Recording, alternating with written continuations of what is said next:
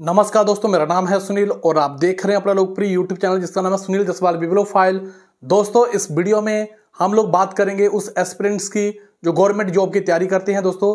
यहाँ पे अगर आप लोगों को लगता है कि आपका समय बर्बाद हो जाएगा तो आप इस वीडियो को छोड़ सकते हैं। दोस्तों, यहाँ पे इन शब्दों के माध्यम से मैं अपनी फीलिंग शेयर करने वाला हूँ और मैंने जहाँ तक ऑब्ज़र्व किया है और उन चीज़ों को दोस्तों यहाँ पे जो मैंने ऑब्ज़र्व किया है, जहाँ मैंने रियलिटी में देखा है, उनको मैंने एक स्क्रिप्ट के माध्यम से लिख लिया दोस्तों। ये जो शब्द हैं दोस्तों, मुझे ऐसा लगता है कि रियल लाइफ में भी ऐसा हो रहा है। अगर आपको लगता है तो आप लोग भी कुछ अपनी तरफ़ से जो पॉइंट है वो ऐड कर सकते हैं। दोस्तों, यहाँ पे सबसे पहले बात करते हैं गवर्नमेंट जॉब की तैयारी करने वाले लाखों युवाओं का जीवन दोस्तों इस समय बर्बाद हो रहा है। अगर आप लोग देखें, दोस्तों यहाँ पे मैं ये जो लाइनें लिखी हैं, मैं इनको रीड करूँगा क्योंकि मैंने इसे पूरी फीलिंग के साथ लिखा हुआ है। बढ़ती शिक्षित बेरोजगारी वर्तमान समय में सबसे बड़ी चुनौती है।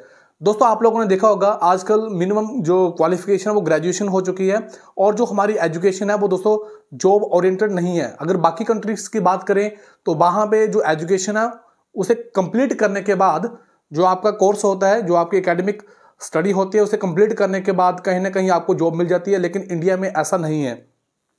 इसमें ना केवल दोस्तों भारतीय युवा, बल्कि भारत देश की प्रगति में भी नुकसान हो रहा है। अगर आप लोग देखेंगे, अगर यूथ जो प्रोग्रेस करेगा तो ऑटोमेटिकली उस देश में प्रोग्रेस होगी। दोस्तों गवर्नमेंट जॉब की तैयारी करने वाले अधिकतर लोग जो होते हैं, वो मिडिल क्लास के और लोअर मिडिल क्लास के लोग ही रहते हैं। उनको लगता है कि गवर्नमेंट जॉब से उनकी पारिवारिक और आर्थिक स्थिति बहुत अच्छी हो जाएगी समाज में उनकी प्रतिष्ठा बढ़ेगी।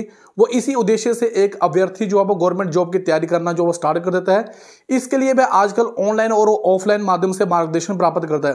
दोस्तों यहाँ पे अगला आप, लोग देखें तो जो गवर्नमेंट जॉब की तैयारी करते हैं वो कहीं बिजनेसमैन के बेटे जो वो अमीर लोग जो तैयारी नहीं करते हैं। इसमें लोअर मिडिल क्लास और मिडिल क्लास के लोग ही तैयारी करते हैं और फिर बच्चा जब तैयारी करना स्टार्ट कर देता है वो आजकल देखें तो ऑनलाइन माध्यम से या फिर ऑफलाइन माध्यम से मार्गदर्शन प्राप्त करता है।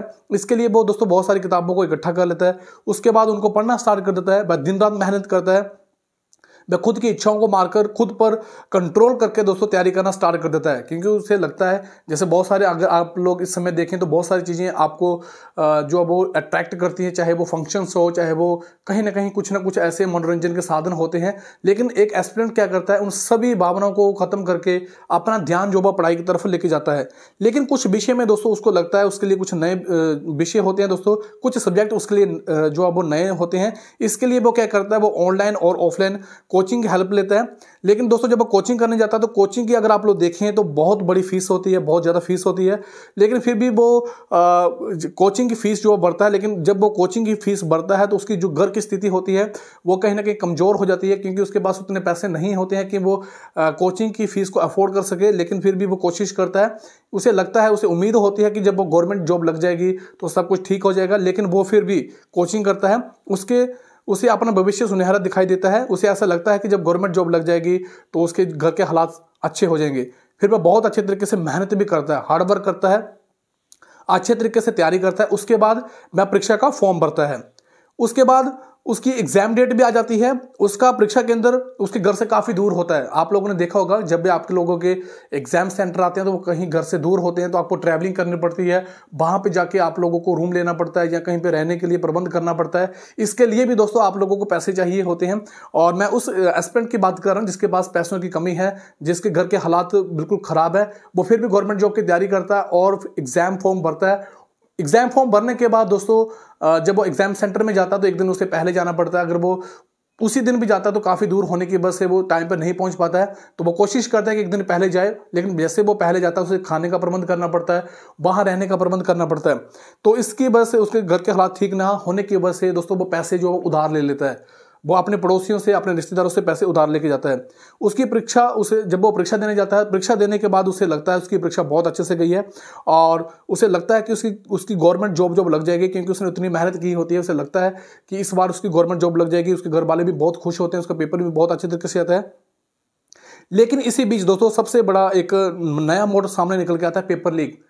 दोस्तों, जब पेपर लीक होता है, जिसकी वजह से उसे बहुत ज़्यादा दुख होता है। क्योंकि उसने इतनी मेहनत की है तो उसने इतना त्याग किया है, उसने इतनी मेहनत की है दिन रात अपने आप को तैयार किया है, दोस्तों कंसिस्टेंट होकर वर्क किया है रेगुलर स्टडी की है एक एक चीज़ को याद किया है, दोस्तों, लोगों के ताने सुने हैं उसने उसने बहुत मेहनत की है, लेकिन जब उसे लगता है कि पेपर लीक हो जाता है तो उसे बहुत ज़्यादा दुख होता है, उसके परिवार वालों को भी बहुत ज़्यादा दुख होता है, उसे लग रहा था कि गवर्नमेंट जॉब लग जाएगी, लेकिन पेपर लीक के मामले में दोस्तों, बहुत सारे लोगों का हाथ होता है। इसमें यह नहीं कि बड़े स्तर के लोग होते हैं, इसमें निम्न स्तर के लोग भी होते हैं, जो क्या करते हैं, कुछ रुपयों की खातिर अपना ईमान बेच देते हैं।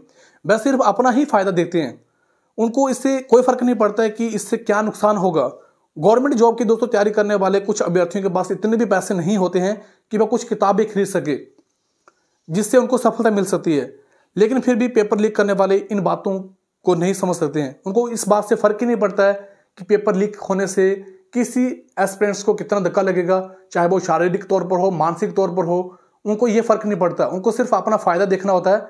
उनको लगता है कि एक पेपर बेचने से क्या फ़र्क पड़ेगा, लेकिन बहुत बड़ा फ़र्क पड़ता है उस एस्पिरेंट से, उसके परिवार वालों को बहुत ज़्यादा फ़र्क पड़ता है। गवर्नमेंट जॉब की तैयारी करने वाले अभ्यर्थियों का समय कैसे निकल जाता है, पता ही नहीं चलता है। इससे वह मानसिक और शारीरिक रूप से इतना प्रताड़ित हो जाता है कि वह अपने रिश्तेदारों के साथ और लोगों के साथ मिलना बिल्कुल बंद कर देता है।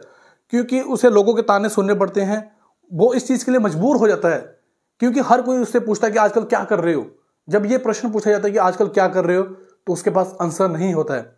अगर वो चाहता है कि वो प्राइवेट जॉब में जाए तो वहाँ पे भी उस तरह से सैलरी नहीं मिलती है तो वहाँ पे भी उसका शोषण होता है। तो वो सोचता है कि जब वो गवर्नमेंट जॉब की तैयारी करेगा, एक साल, दो साल लगा के तैयारी कर लेगा तो सब कुछ ठीक हो जाएगा। लेकिन ऐसा कुछ भी नहीं होता है।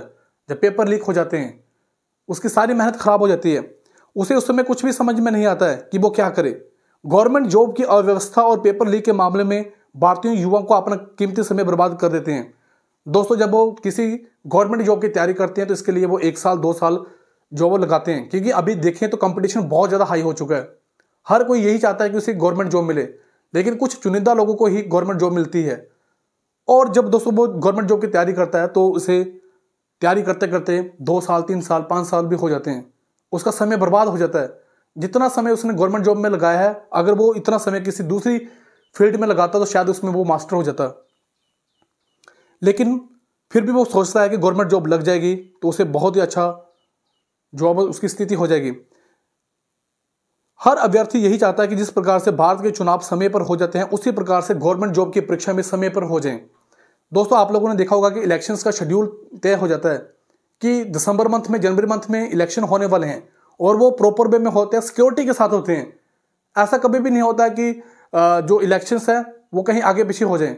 प्रॉपर वे में इलेक्शन होते हैं, सब कुछ होता है टाइम पे उनका रिज़ल्ट आता है, सब कुछ होता है और फिर गवर्नमेंट बन जाती है।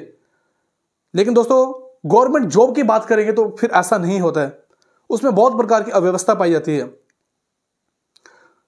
दोस्तों, इस प्रोसेस में जब वो गवर्नमेंट जॉब की तैयारी करता है और पेपर से लेके दोस्तों ज्वाइनिंग तक का समय वो चाहता है कि कम से कम लगे। लेकिन आप लोगों ने देखा होगा कि जब आप गवर्नमेंट जॉब की तैयारी करते हैं, पेपर भरने से लेके ज्वाइनिंग तक का समय एक साल या दो साल का लग जाता है तो इससे भी उसे मानसिक तौर पर टॉर्चर होना पड़ता है। लेकिन पेपर लीक करने वाले और भ्रष्ट आचरण करने वालों के खिलाफ भी कड़ी कार्रवाई होनी चाहिए। ये हर एस्पिरेंट चाहता है कि कोई भी पेपर लीक ना हो। लेकिन जो पेपर लीक करते हैं, उनके ऊपर कड़ी से कड़ी कार्रवाई करनी चाहिए। जिन्होंने भ्रष्ट आचरण किया है जिनको ये समझ ही नहीं है कि इस, इसका नुकसान क्या होगा, उनके ऊपर कार्रवाई की जानी चाहिए। वो जब अपन जब वो खुद एस्पिरेंट थे, जब उन्होंने खुद गवर्नमेंट जॉब की तैयारी की थी तो वो उस समय सोचते थे कि ऐसा कुछ भी नहीं होना चाहिए। पेपर में कोई अव्यवस्था नहीं होनी चाहिए। लेकिन जब वो जैसे ही गवर्नमेंट जॉब में पहुँच जाते हैं तो फिर वो उन सारी चीज़ों को भूल जाते हैं। उनके लिए सिर्फ़ पैसा ही सबसे बड़ी चीज़ हो जाती है। तो इसके लिए क्या करना चाहिए? इसके लिए एक ऐसी स्वतंत्र संस्था होनी चाहिए जो पेपर करवाने से लेकर गवर्नमेंट जॉब की ज्वाइनिंग तक पूरी देख रेख करे। दोस्तों, जैसे हमारे कमीशन होते हैं, मैं जैसे हिमाचल की बात करूँगा। हिमाचल में दोस्तों, जिस तरह से एच सी था, Himachal Pradesh public service commission है। दोस्तों, इसके माध्यम से जो पेपर कंडक्ट करवाए जाते हैं। लेकिन इनके अलावा कोई एक ऐसी संस्था होनी चाहिए जो सिर्फ़ इनका सुपरविजन करे कि पेपर ठीक तरीके से हो रहे हैं, रिज़ल्ट सही सही समय पे हो रहे हैं। कोई गड़बड़ी तो नहीं हो रही है। अगर कोई गड़बड़ी हो रही है तो उसके ऊपर एक्शन होना चाहिए। इमीडिएट एक्शन होना चाहिए। अभ्यर्थियों की समस्या और परेशानियों का हल निकालना चाहिए। बहुत सारे बच्चे जो है वो परेशान हो जाते हैं। चाहे वो एग्ज़ाम सेंटर से रिलेटेड चीज़ें हो, या किसी भी प्रकार की कोई चीज़ें हो, कुछ टोल फ्री नंबर जो है उपलब्ध करवाने चाहिए। अगर आप लोग देखेंगे तो एच ऐसा था कि जब कोई भी एस्पिरेंट फ़ोन लगाता था तो वो उठाते नहीं थे। उनके कुछ इश्यू होते थे, वो फ़ोन के माध्यम से कंप्लीट हो सकते थे। लेकिन उनको पर्सनली वहाँ पे जाके विज़िट करना पड़ता था। तो इसलिए कुछ टोल फ्री नंबर होने चाहिए, जिनके माध्यम से बच्चों को फ़ोन करके उनका सोल्यूशन जो प्रोवाइड करवाया जा सके, ताकि उनका समय बर्बाद ना हो। एग्ज़ाम शेड्यूल निश्चित होना चाहिए। जिस तरह से आईएस और एचएस का शेड्यूल निश्चित होता है, इस तरह से चाहे क्लास थ्री हो, चाहे क्लास फोर हो एग्ज़ाम का शेड्यूल होना चाहिए कि पेपर कब होगा, कब तक इसका रिज़ल्ट आएगा, कब तक इसकी ज्वाइनिंग होगी। अभ्यर्थियों के सुझावों के लिए कॉल कॉलम रखना चाहिए। दोस्तों, यहाँ पे कुछ एस्पिरेंट्स के विचार होते हैं, कुछ सुझाव होते हैं जो बहुत ज़्यादा वैल्यूएबल होते हैं। लेकिन लेकिन उनको वैल्यू नहीं दी जाती है। तो इसके लिए उनके सुझावों के लिए कुछ कॉलम होने चाहिए। देश की प्रगति के लिए बच्चों के भविष्य के साथ जुड़ी हुई, इसलिए बच्चों के भविष्य के साथ खिलवाड़ ना किए जाए। दोस्तों, यहाँ पे अगर आप लोग देखेंगे तो हर बच्चा जो है वो देश का भविष्य बनाने में अपना पूरा सहयोग दे सकता है। लेकिन जब उसे मेंटली तौर पर और फ़िज़िकल तौर पर टॉर्चर किया जाता है तो फिर वो देश की प्रोग्रेस के बारे में कभी भी नहीं सोचता है। वो खुद की प्रोग्रेस के बारे में सोचता है, लेकिन जब उसकी खुद की प्रोग्रेस भी नहीं हो पाती है तो वो कहीं ना कहीं समाज से अलग हो जाता है। तो एक अभ्यर्थी बस इतना ही चाहता है कि समय समय पर गवर्नमेंट जॉब और निकले, उनका प्रोसेस अच्छे से हो जाए, ईमानदारी के साथ उन्हीं बच्चों का सिलेक्शन हो, जो बच्चे डिजर्व करते हैं। और इस प्रोसेस में किसी भी प्रकार की कोई गड़बड़ी ना हो, पेपर लीक के मामले ना हो एक व्यवस्था के माध्यम से ही जो एग्ज़ाम जो वो कंडक्ट करवाए जाएँ। तो दोस्तों, ये मेरा आज के कुछ शब्द थे जो मैंने आपके सामने पेश किए हैं। मुझे उम्मीद है कि ये जो शब्द होंगे ये आपको समझ में ही नहीं, बिल्कुल आपको ये रियलिटी भी महसूस होगी। और फिर भी अगर आपके मन में कोई प्रश्न हो दोस्तों तो कमेंट बॉक्स में ज़रूर टाइप करें। दोस्तों, ये वीडियो आपको कैसा लगा, आप अपनी राय कमेंट बॉक्स में ज़रूर बताएँ। आप लोगों ने मुझे इतना समय दिया। आप सभी का बहुत बहुत धन्यवाद। थैंक यू वेरी मच दिल से।